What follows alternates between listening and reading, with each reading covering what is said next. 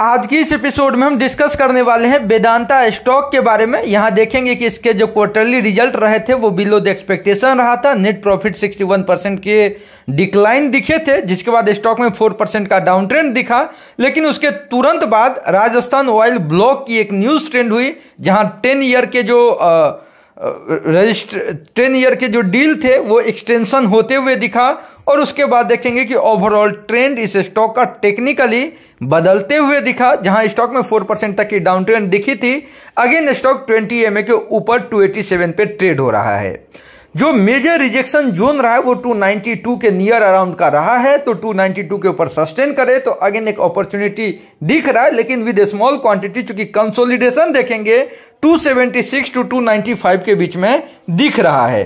तो जो इन्वेस्टर हैं, हमने कहा उनको पैनिक करने की गलती नहीं करना है वेदांता ही नहीं, बल्कि जितने मेटल स्टॉक हैं, सभी बिलो द एक्सपेक्टेशन रिज़ल्ट रहा है जीएसडब्ल्यू स्टील, टाटा स्टील, और वेदांता जैसे सभी स्टॉक्स में डाउन ट्रेंड दिखे हैं।